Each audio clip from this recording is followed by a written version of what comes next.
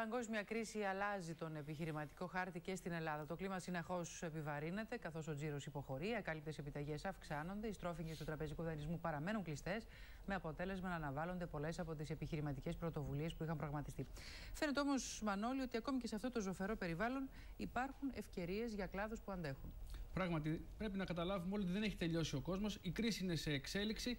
Σίγουρα πρέπει να βρούμε ένα νέο μοντέλο, μια νέα συνταγή για το πώς mm. εμείς θα βρούμε μια επιχειρηματική πρωτοβουλία με ένα συγκεκριμένο target group και κυρίως αυτό που νοιάζει όλους μας είναι οι ανάγκε των καταναλωτών. Δηλαδή, αυτός που θα πετύχει θα είναι όποιο βρει τις ανάγκες που έχουν οι καταναλωτές. Να δούμε το πρώτο βίντεο με τις συμβουλές από τον πρόεδρο της ΕΣΥΝΕ, της Ένωσης των Επιχειρηματιών, των νέων επιχειρηματιών, που έχει ιδιαίτερο ενδιαφέρον. Ο Ανδρέας Στεφανίδης ίδρυσε το 2001 την Ομοσπονδία Νέων Επιχειρηματιών. Στα 8 χρόνια, έχοντας 3.000 ενεργά μέλη μαζί με την Ένωση Πληροφορικών Ελλάδος, βλέπει ότι τώρα στην κρίση, παρά την επεσιοδοξία, υπάρχουν σημαντικές ευκαιρίες. Οι εταιρείες οι οποίες βασίζονται στη γνώση και είναι καινοτόμε, τώρα είναι ο καιρός που θα ανθίσουν, διότι δεν θα έχουν αυτό που λέμε στην χρηματοοικονομία μόχλευση από πάγιες δαπάνες και θα μπορούν να είναι ευέλικτες και να κρατηθούν σε αυτή την κρίση που υπάρχει στην παγκόσμια αγορά. Καλό είναι να κυνηγάνε και τις επιδοτήσεις, αλλά επικουρικά στην ήδη υπάρχουσα ενασχόλησή τους πάνω στην επιχειρηματική δραστηριότητα. Και φυσικά να κοιτάνε να διευρύνουν τις αγορές τους. Δηλαδή να μιλάμε για υπερεθνικές αγορές. Κάποια στιγμή δεν μπορεί η μισή Ελλάδα να ταΐζει ή να φτιάχνει καφέ στην άλλη μισή. Οι συμβουλές πρακτικά σε τίτλους ποιες θα είναι, στην πούμε. Πρώτα απ' όλα, ε, πολλή εξειδίκευση και γνώση στην επιχειρηματική δραστηριότητα που ένας νέος ή μια νέα ε, επιχειρηματίας αναπτύσσει.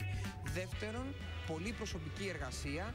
Τρίτον, δικτύωση με άλλους νέους επιχειρηματίες για να επιτύχουμε οικονομίες κλίμακος και όχι μόνο σε εθνικό επίπεδο, αλλά σε ευρωπαϊκό και παγκόσμιο. Άρα το μυστικό μπορεί να κρύβεται στις νέες τεχνολογίες και στην καινοτομία, δηλαδή να εκμεταλλευτούν αυτά τα χαρακτηριστικά οι επιχειρήσεις και να φύγουν μπροστά. Ακριβώς το ηλεκτρονικό επιχειρήν είναι μια μεγάλη και τεράστια ευκαιρία. Είναι φτηνό, συμφέρει πολλές επιχειρήσεις, υπάρχουν υψηλές επιδοτήσεις, προσωπική εργασία, όπως είδαμε και στο ρεπορτάζ, και μπορούμε να δούμε ποιες είναι δηλαδή οι επιχειρήσεις που μπορούμε και έχουν ενδιαφέρον. Πρώτον, καταρχήν είναι το ηλεκτρονικό κατάστημα. Ε, λογιστικά, φορολογικά, ασφαλιστικά και κυρίως ηλεκτρονικά είδη που τα gadget, όπως έχουμε δει στα περισσότερα ρεπορτάζ, δεν έχουν, έχουν μεγάλη ζήτηση. Από εκεί και πέρα, η με μεγάλο ενδιαφέρον για την πράσινη ενέργεια, εγκατάσταση συστημάτων φυσικού αερίου, αυξημένη ζήτηση εκεί και επίσης επιδοτήσεις. Από εκεί και πέρα, τα τυχερά παιχνίδια μέσα στην κρίση είναι και εκεί μια μεγάλη ε, ευκαιρία. Να πούμε ότι είμαστε πρώτοι στην Ελλάδα σε κατακεφαλήν ε, δαπάνη στην Ευρωπαϊκή Ένωση. Το 80% του τζίρου του ΟΠΑΠ γίνεται από 3.000 καταστήματα. Και εκεί λοιπόν υπάρχει μια ευκαιρία. Ναι, το ζήτημα είναι να μην χάνεις από τα χαμένα.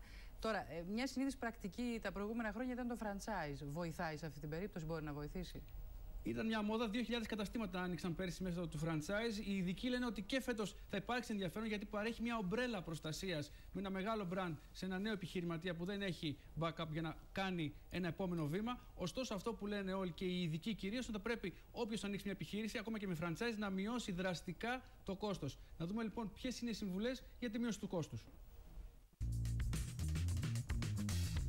Να μπουν σε ενή κομμάτια της αγοράς, εξειδικευμένα δηλαδή, να πάνε με ευελιξία στα μικρά κομμάτια της αγοράς, εκεί που δεν μπαίνουν εύκολα οι μεγάλοι, μπορούν να τους ανταγωνιστούν εύκολα, να πιάσουν το μικρό σημείο, να πιάσουν τα μεγάλα κομμάτια, θέλουν μεγάλα λειτουργικά κόστη, πάντα χαμηλό κόστος. Χαμηλό κόστος και όχι πολύ κρίκη ενδιάμεση της αλυσίδας.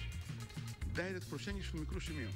Κατευθείαν στον τελικό καταναλωτή, όχι πολύ ενδιάμεση εφοδιαστική αλυσίδα. Προτιμούν το franchising καθώς ε, τα νέα καταστήματα δεν θα δημιουργηθούν από τους δικούς τους πόρους αλλά από ε, επενδύσεις των συνεργατών franchisee τους. Έχει να κερδίσει και την υποστήριξη που του παρέχει ο franchisor ε, θέματα που άπτονται κάθε λειτουργία της επιχείρησής του.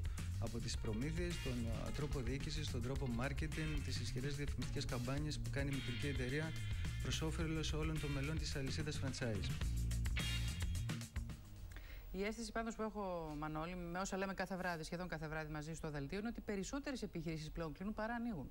Και αυτό είναι ένα κρίσιμο στοιχείο για να δούμε ποια είναι η κατάσταση στην αγορά. Υπάρχει ένας προβληματισμός, θα κρυθεί όλο και από την πορεία της αγοράς και το πώς θα πάνε και το θέμα των ακάλυπτων επιταγών, όπως είπες, που είναι πολύ σημαντικό. Ωστόσο, υπάρχει μια αισιοδοξία στον Έλληνα και στη φύση του, καθώς μέχρι σήμερα μία στις τρεις επιχειρήσεις, μία έκλεινε και τρεις άνοιγαν λογικά, όπως λένε οι εκτιμήσεις των ειδικών, αυτό ίσως περιοριστεί στο 1 προς 2. Αλλά θα το δούμε στην πορεία βέβαια και το πόσο η κρίση θα συνεχιστεί το προσεχές διάστημα. Εδώ είμαστε για να τα ξαναπούμε. Εδώ είναι και η κρίση βεβαίως, για να δούμε τι θα επισορεύσει ακόμη και στην ελληνική οικονομία. Σε ευχαριστούμε πολύ, Μανώλη.